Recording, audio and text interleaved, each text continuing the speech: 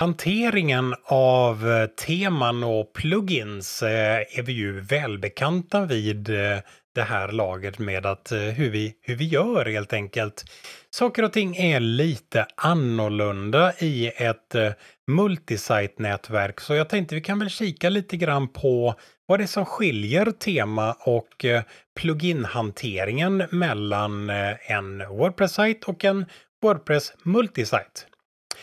Teman Eh, de behöver helt enkelt aktiveras i nätverket före de olika sajterna i nätverket kan använda dem.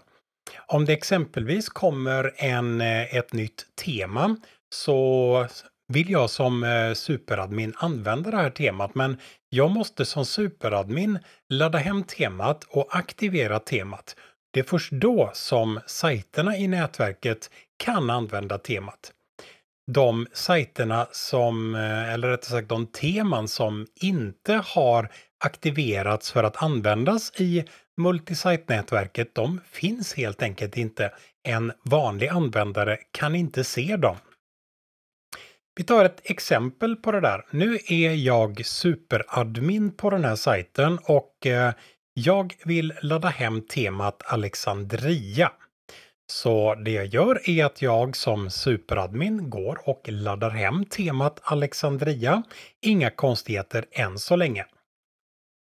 Om vi då tittar på de olika teman som finns installerade här så ser vi att Alexandria-temat nu är aktiverat för hela sajtnätverket.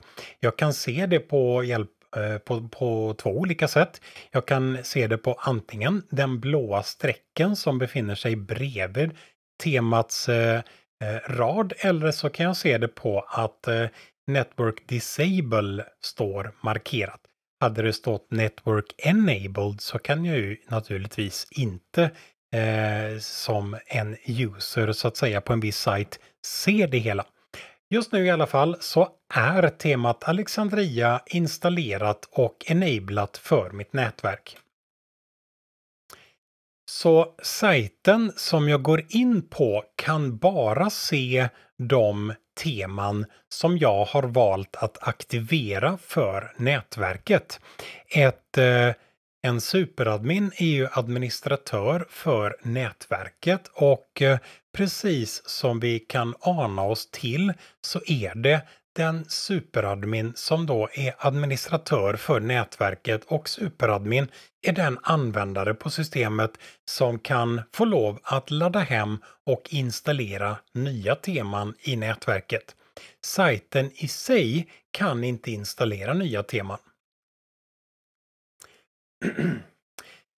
På samma sätt som vi har slagit på lite krångligheter för temahanteringen i och med att vi låter enbart eh, administratorn, superadmin av sajten, ladda hem och eh, hantera teman.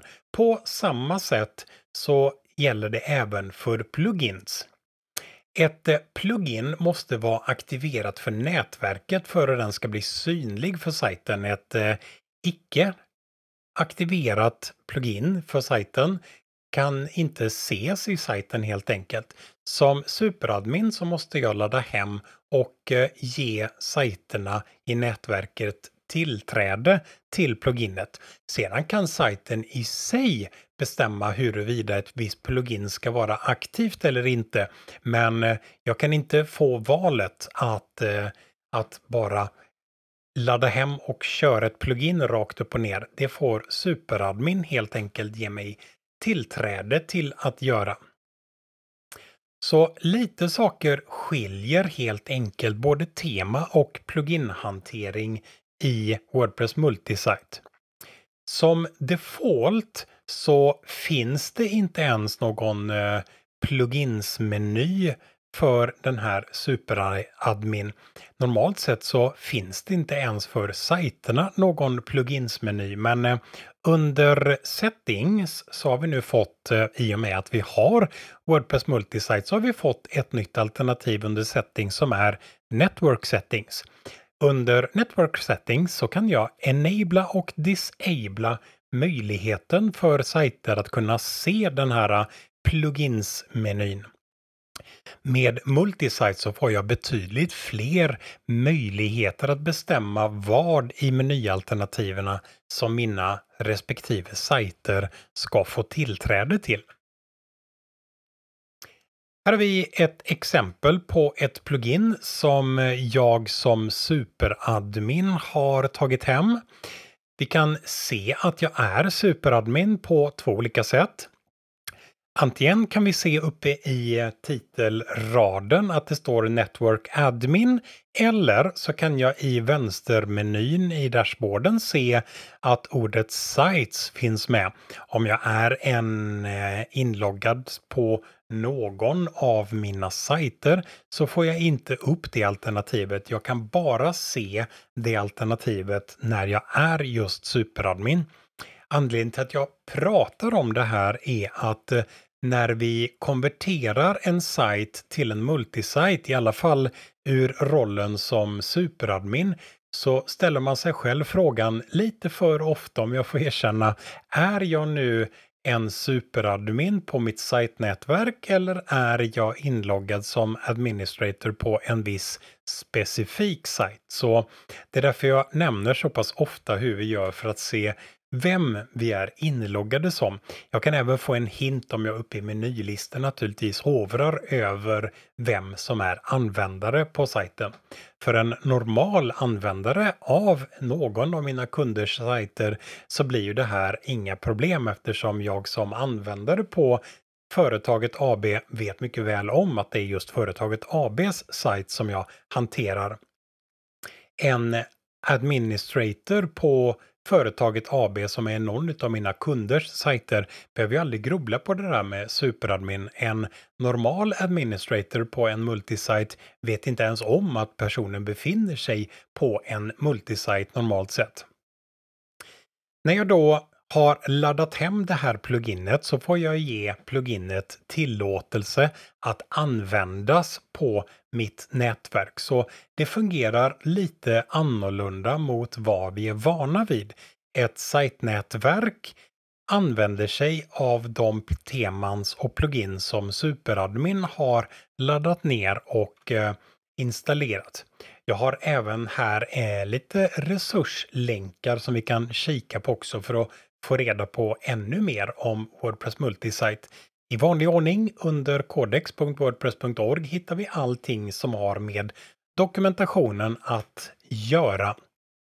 Så Wordpress Multisite fungerar lite grann på det där sättet och eh, det är jag som nya rollen superadmin som ger mitt nätverk tillträde till att kunna välja vilket av de teman som jag som superadmin har bestämt ska existera i nätverket.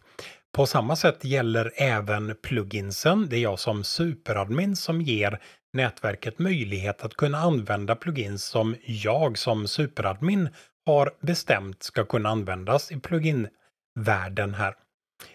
En bra sak att eh, veta om är att eh, som superadmin så kan jag dessutom säga att vissa plugins måste användas på alla multisajter i nätverket. Jag kan som superadmin exempelvis säga att alla sajter i nätverket måste använda pluginet exempelvis eh, Akismet för att hantera spambottar och liknande. Jag kan som superadmin säga att det här pluginet måste användas på alla sajter i nätverket och de här pluginen kan användas på sajterna i multinätverket.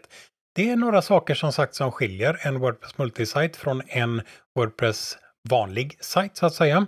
Eh, båda två ingår i samma installationsfil men eh, värt att komma ihåg från idag är att det kanske inte är superenkelt att ta sig från en multisite till en vanlig enkel Wordpress-sajt. Så tänk gärna igenom om man behöver en Wordpress multisite och eh, svaret på den frågan är ju såklart hur många användare har jag på min sajt?